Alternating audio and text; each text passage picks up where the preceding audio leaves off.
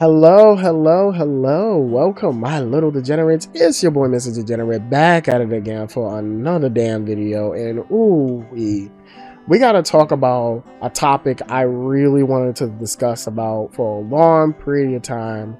Uh, remake, gaming remake culture, and the staggering amount of remakes we're getting. Um, and this comes from a particular YouTuber um, that I love to death, Sparrow Hunter, uh, aka Susie, aka Miss Capcom, Mommy Capcom, as as she's called, uh, came out and did a video, but also a tweet about remakes, and she was mostly discussing on the tweet like why she's not going to be playing um, Silent Hill 2 remake. And everyone dogpiled on her. They were on her ass. They were they were beating my girl's ass in in the in the comment section of that post. Uh, but one of the things that actually fascinated me was the was what she said in the second part of the post,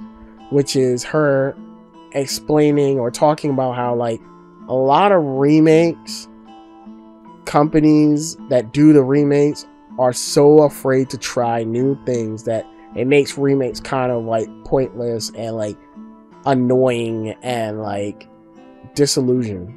And I'm kind of like, that's so fascinating because I feel like that's the opposite of how I feel. In fact, I'm on two minds of it. I feel like remakes are fucking awesome, and I'm gonna explain why I love remakes. Remakes are fucking awesome because, depending on how they're done, they could be either traditional remakes, which I don't care about. So, Silent Hill 2 remake, and um, I guess the Metal Gear Solid 3 remake are remakes I'm not too interested in because I can go play those games easily. Um, they're very accessible. Uh, hell, for Metal Gear Solid 3, one of my favorite video games of all times, I own the the the Legacy Collection for the PS3, and more importantly, I own the Master Collection on the PC. So I can play these games anytime I want. However, however, I know for some modern audience, they're going to look at those games. They're going to look at even Silent Hill 2 um, and say certain elements of these games are dated. You know, I played a little bit of Silent Hill 2 recently, and that game is really, really, I repeat, really kind of kind of rough when it comes on the engaging with enemies. Like fighting enemies in that game is pretty rough. You know, you I, I, would I would argue maybe you'll get better at it as you go along, and it probably does get better as it goes along. But I was kind of like, yeah, this isn't this isn't kite this isn't kite fun. But you know what keeps you going in that game? The writing and the story and and the interpretation of how characters talk and everything is so fucking fascinating. It's so great. But for a modern audience, they're gonna be like, that's fucking lame. You know?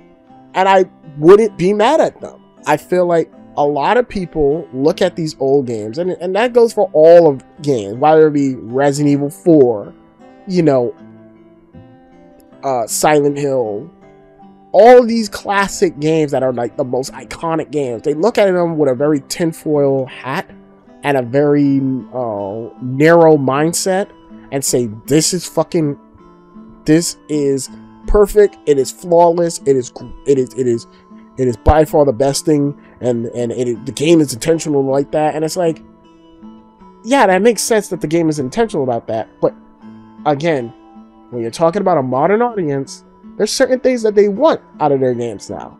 So, for instance, Resident Evil 4 Re, uh, Resident Evil 4 the OG has quick time events. Now, modern day players aren't a fan of, of quick time events like that. This is why usually in quick time events in more modern game, it either pause the action to let you press the button or they'll tell you to just redo that part again. But not in an annoying way like how in old quick time events back in the day where it would lead to a death. Um, and that's fine. Uh, I actually prefer the old way, where if you fuck up the quick time event, you die because it led to some hilarious moments. But at the same time, I also understand that these game those some of those quick time events can be very fucking frustrating. So to have the option to turn them off, or in Resident Evil 4's case, take the quick time events, remove them, but replace them with something even cooler, which is this parry mechanic, which is basically your quick time event fucking button. It basically allows you to parry and and do shit from the original game, but now you, the player, is controlling that and using your reaction time in gameplay. That's fucking control, fucking awesome. You're always in control. So that is awesome.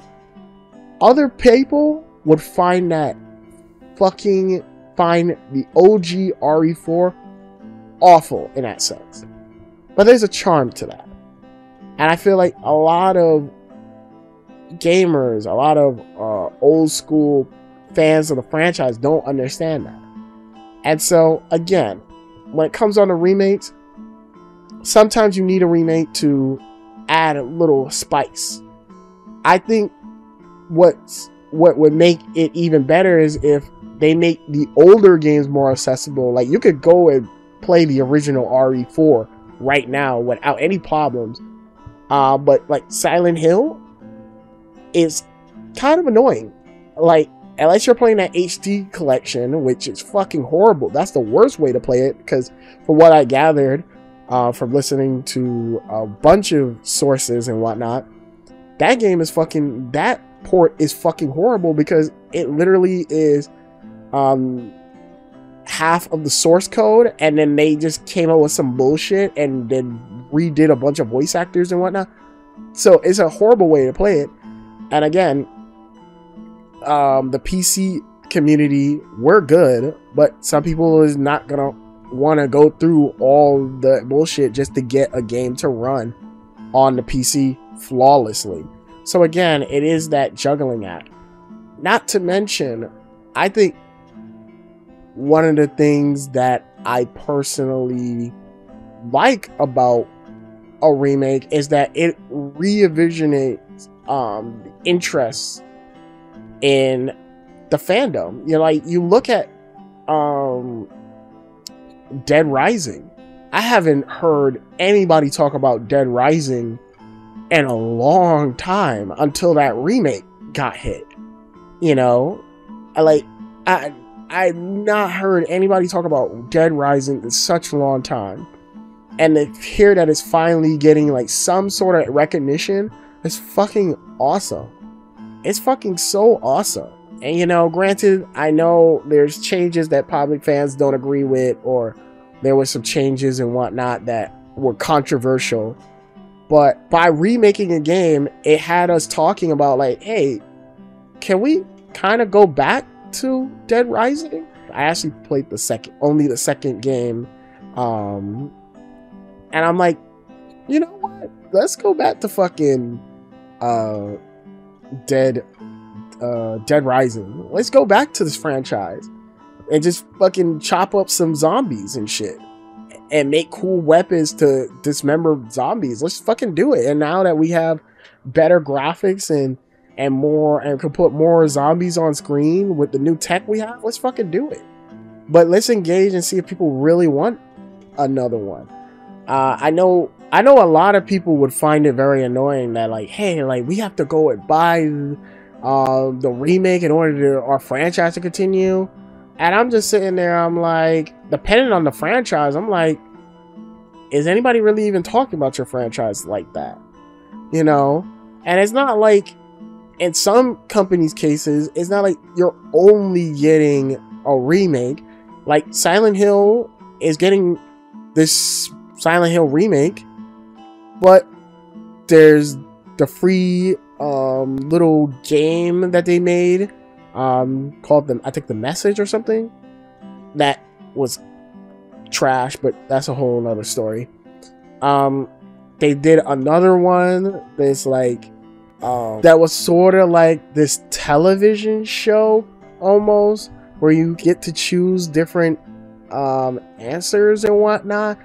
That one, you know, was also kind of trash. And then we have another Silent Hill game made with Japanese developers that's on its way. So again, these franchises are not stopping because of of remakes. In fact, all it is is, and in some cases, igniting go out and actually support and talk about why this franchise is special and why you want it back and bring it into new audience that's never played it but would probably be interested in something like this like that's the point of what a remake should do just remind the people why this franchise is awesome and so far we've been very lucky to have the remakes that have come out and has reminded people like why this franchise is fucking awesome and whatnot. Now, not everything is perfect, you know.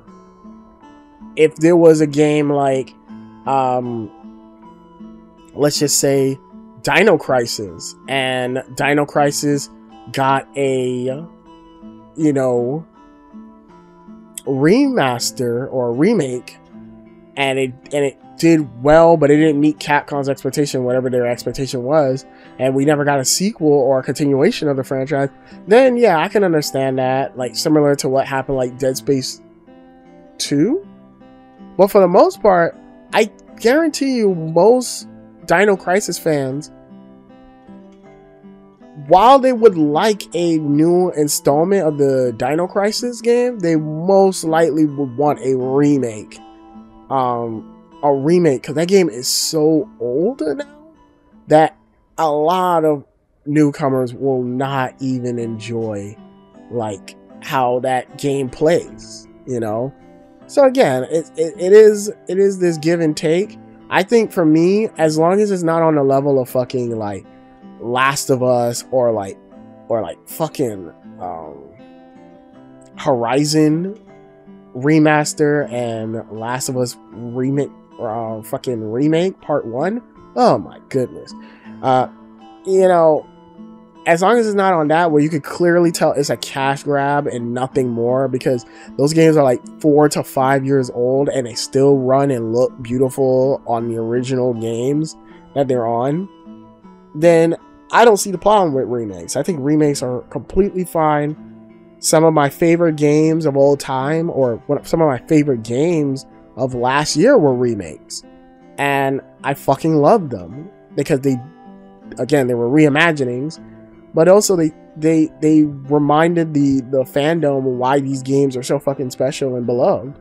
So for me, I look at remakes as another form of game preservation for more of modern audience. This is a great way for modern audience to get into the franchise without having to struggle so much to find a copy or, you know, go on PC and go the illegal route and sail the seven seas just to play an old classic game when the remake's there.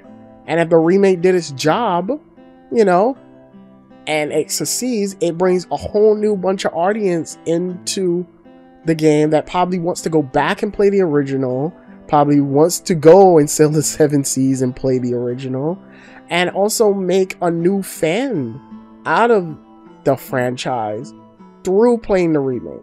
So again, if the remake sucks and it's not good or whatever, you can still go back and play the original. Resident Evil 4 Remake is still around.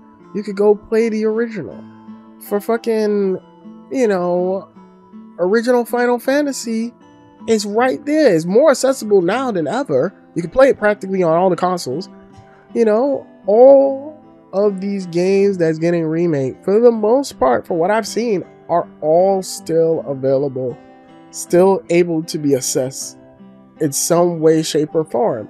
So again, I just don't see any problem with remakes. And it's not like it's stopping developers from making new games, because that's been proven wrong. So, you know, I'm all for it as long as it's done well, or in my case, it's a reimagining. I I'm all down for it. I wish nothing but the best for Silent Hill 2 remake. I hope it is going to be a good remake.